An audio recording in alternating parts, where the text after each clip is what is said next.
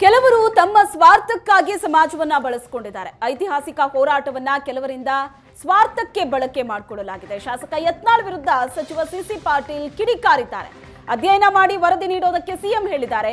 ಹಿಂದುಳಿದ ಆಯೋಗಕ್ಕೆ CM BSY ಶಿಫಾರಸು ಮಾಡಿದ್ದಾರೆ. ಕೆಲವರು ಅನವಶ್ಯಕವಾಗಿ ದುರುದ್ದೇಶದಿಂದ ಹೇಳಿಕೆಯನ್ನ ಕೊಡ್ತಿದ್ದಾರೆ ಅಂತ ಹೇಳಿದ್ದಾರೆ. ಪಾಟೀಲ್ ಯತ್ನಾಳ್ರವರು ಮುಖ್ಯಮಂತ್ರಿಗಳ ವಿರುದ್ಧ ಹೇಳಿಕೆಯನ್ನು ಕೊಡ್ತಾ ಇರುವುದು ನಿನ್ನೇನು ಒನ್ನೆಸರೇ ಅಲ್ಲ.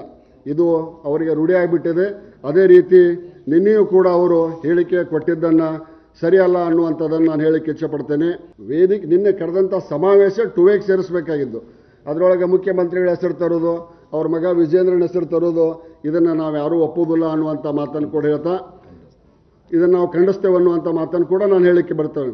ಶ್ರೀ ಬಸನಗೌಡ ಪಾಟೀಲ್ ಯತ್ನಾಳ್ರವರು ಮುಖ್ಯಮಂತ್ರಿಗಳ ವಿರುದ್ಧ ಹೇಳಿಕೆಯನ್ನು ಕೊಡ್ತಾ ಇರುವುದು ನಿನ್ನೇನು ಒನ್ನೆಸರೇ ಅಲ್ಲ.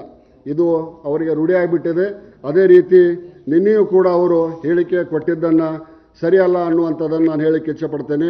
ವೇದಿಕೆ ನಿನ್ನೆ ಕರೆದಂಥ ಸಮಾವೇಶ ಟು ವೇಕ್ ಸೇರಿಸಬೇಕಾಗಿದ್ದು.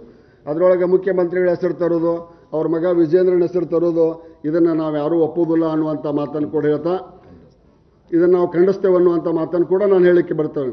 ಶ್ರೀ ಬಸನಗೌಡ ಅತ್ಯಂತ ಅರ್ಥಪೂರ್ಣವಾಗಿ ನಡೆತಿರ್ತಕ್ಕಂಥ ಸಮಾರಂಭವನ್ನು ಕೆಲವು ವ್ಯಕ್ತಿಗಳು ತಮ್ಮ ಸ್ವಾರ್ಥ ಸಾಧನೆಗಾಗಿ, ವೈಯಕ್ತಿಕ ಹಿತಾಸಕ್ತಿಗಾಗಿ ಪಂಚಮಸಾಲಿ ಸಮಾಜವನ್ನು ದುರ್ಬಳಕೆ ಮಾಡಿಕೊಂಡಿರೋದು ಭಾಳ ದುರದೃಷ್ಟಕರ ಸಂಗತಿ ಹಾಗೂ ಖಂಡನೀಯ.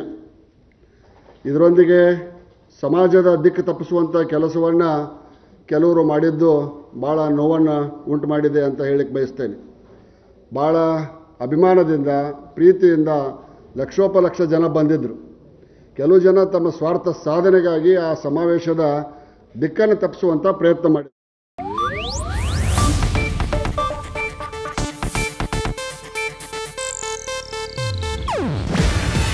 ಇದು ಏಷ್ಯಾನೆಟ್ ನ್ಯೂಸ್ ನೆಟ್ವರ್ಕ್ ಪ್ರಸ್ತುತಿ. ನೀವು ನೋಡ್ತಿದ್ದೀರಾ ಏಷ್ಯಾನೆಟ್ ಸುವರ್ಣ ನ್ಯೂಸ್.